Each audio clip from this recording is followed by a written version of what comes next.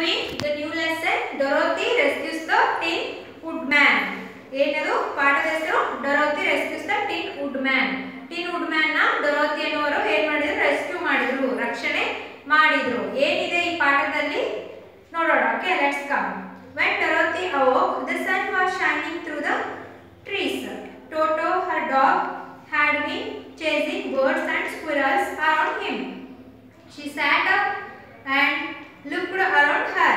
Scarecrow stood patiently in his corner. ಏನಾಯ್ತು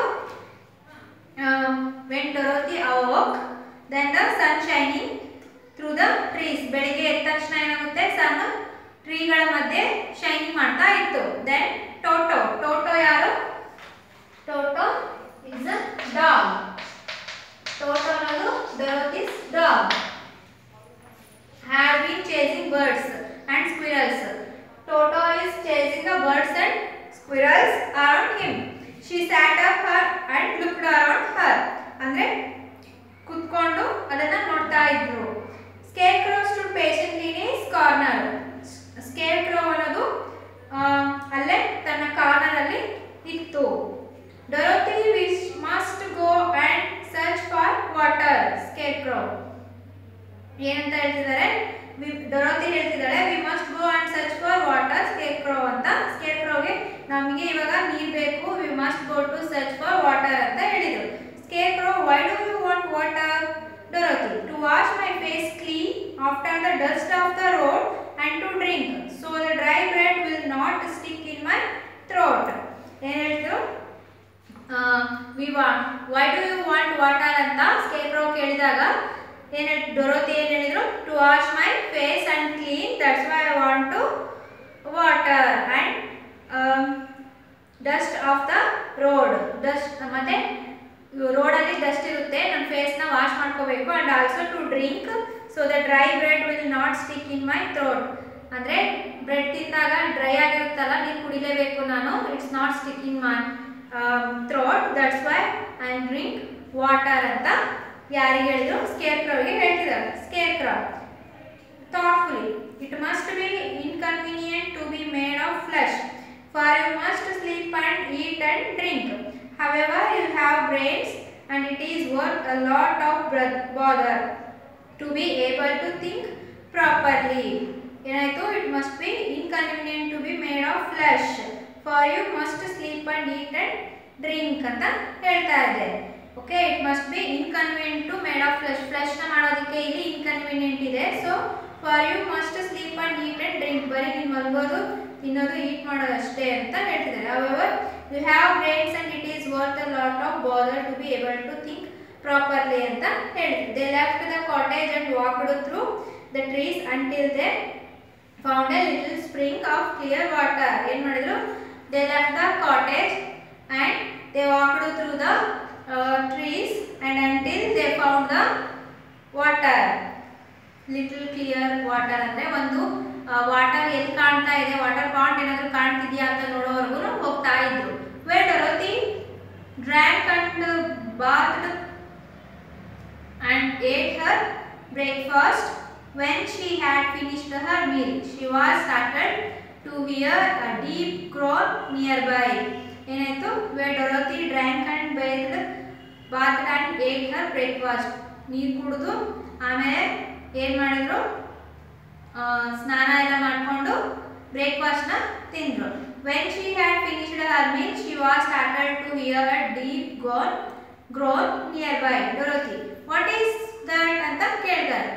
Scarecrow I can not imagine but we can go and see ಅಲ್ಲಿ ಏನಿದೆ ಅಂತ ಕಾಣ್ತಾ ಇಲ್ಲ.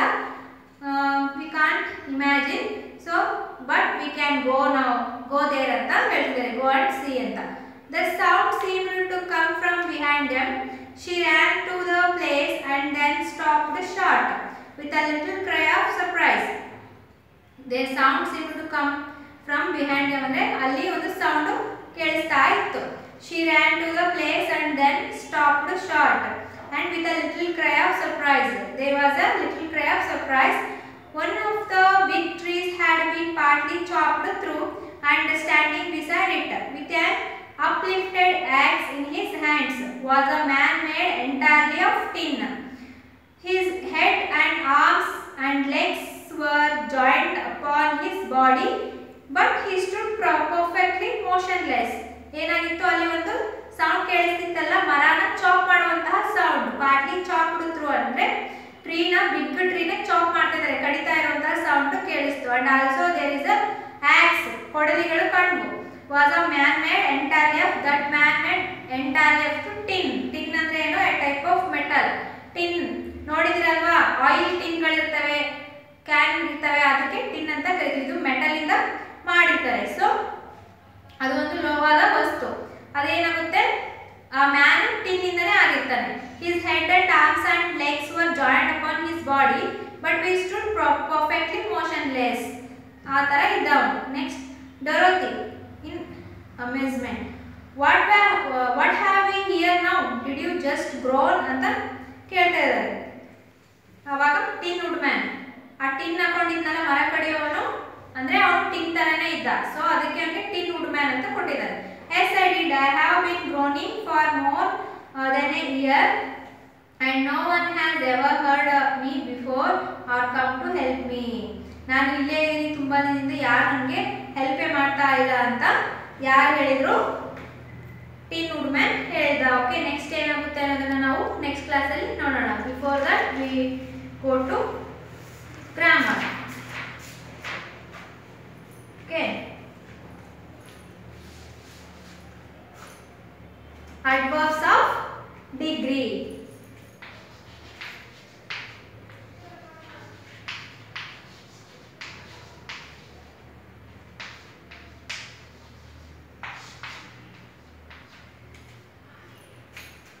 read this adverbs of degree ಅಂದ್ರೆ adverbs ಅಂದ್ರೆ adverbs ಅಂದ್ರೆ ನಿಮ್ಗೆ ಗೊತ್ತಿದೆ ನಿಮ್ಗೆ ಗೊತ್ತಿದೆ ಅಲ್ವಾ?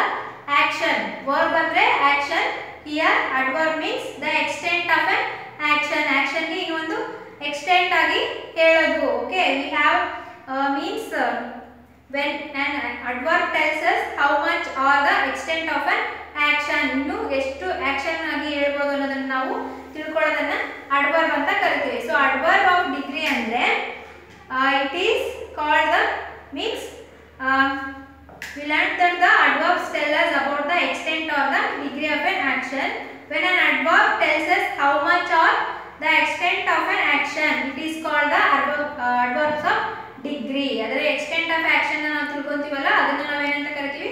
ಅಡ್ವಾನ್ಸ್ ಆಫ್ ಡಿಗ್ರಿ ಅಂತ ಕರಿತೀವಿ. For example the children have almost finished watering the plants ಅಂತ ಇದೆ.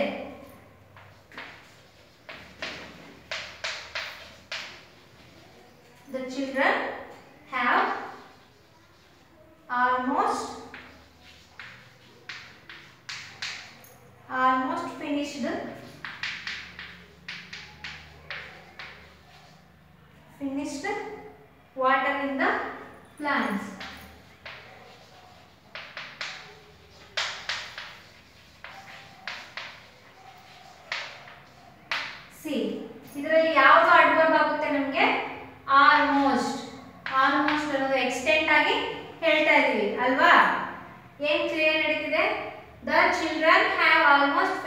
finished watering the plants children ಏನ್ ಮಾಡ್ತಿದ್ದಾರೆ?